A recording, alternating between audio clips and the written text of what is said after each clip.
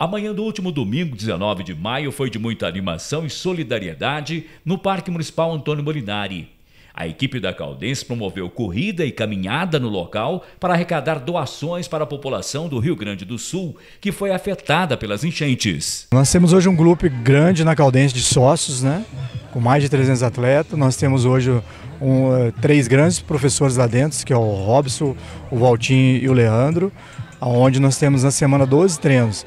E um dos treinos hoje foi marcado aqui no Parque Municipal, juntamente para abraçar o pessoal que está organizando essa prova, onde nós viemos trazer alimento, água para mandar lá para o Rio Grande do Sul. Lembrando que a gente está fazendo a campanha também lá no Clube da Sede da Caldense. Nós temos também arrecadado e mandado para lá.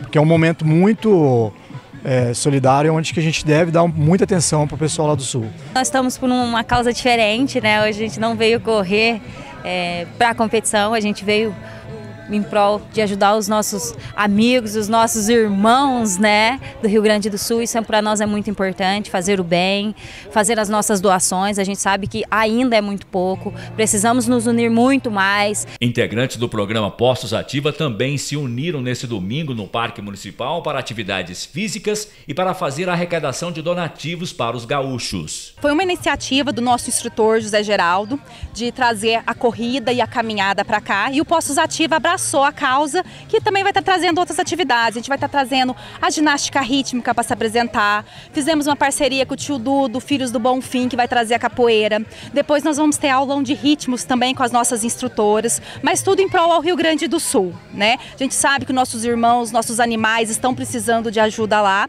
e nada mais que unir o esporte com a causa nobre. Então, hoje colocamos nessa, esse dia maravilhoso para fazer atividade, né? O pessoal já está aproveitando, colocando colocando a saúde em dia e ajudando o próximo.